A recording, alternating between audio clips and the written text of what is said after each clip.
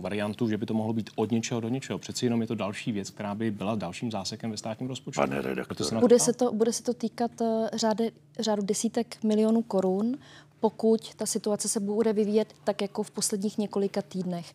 Pokud to bude situace několikanásobně vyšší, to nevíme, jak se bude vyvíjet epidemiologická situace, tak tolikanásobně vyšší to bude. Ale pokud to půjde jako v posledních šesti týdnech, tak se bavíme o řádu desítek milionů korun. Pane Klausku? Promiňte, že se pohoršuju, pane redaktore, ale přece jenom měl byste vědět, že otázka, kde na to vzít, je naprosto plitká otázka. Paní ministrině to unavuje.